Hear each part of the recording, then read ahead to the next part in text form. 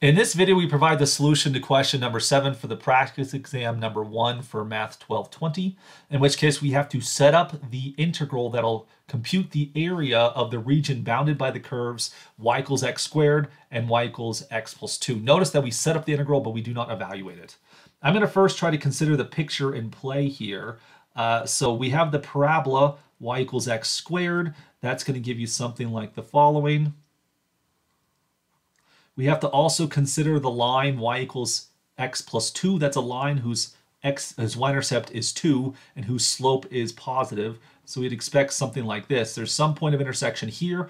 There's some point of intersection here. We're looking for this region. We want to find the area of that region. So let's first figure out where these things intersect each other. So I set the two equal to each other. x squared is equal to x plus 2. If you set the right-hand side equal to 0, you'll get x squared minus x minus 2 equals 0.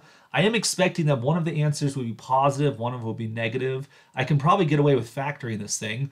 Factors of negative 2, um, let's try uh, x minus 2 and x plus 1 equals 0. That would give us the solutions of 2 and negative 1. And sure enough, negative 2 times 1 is negative 2.